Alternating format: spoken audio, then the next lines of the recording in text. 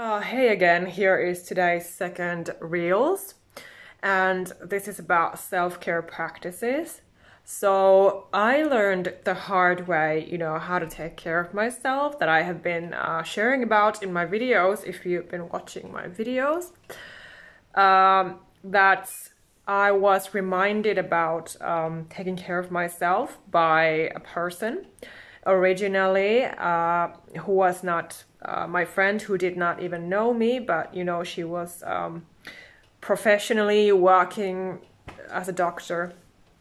But anyway, so at that moment, I was like, I was thinking to myself, like, what do you mean by, you know, taking care of myself?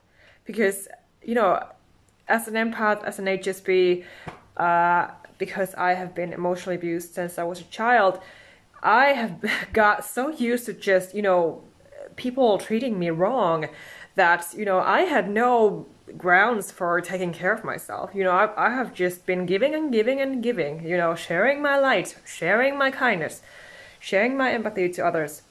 So if you're struggling with this, don't hesitate to DM me. Uh, my self-care checklist is always free, so that's also found on my bio link on Instagram. So check that out if you need help. Namaste.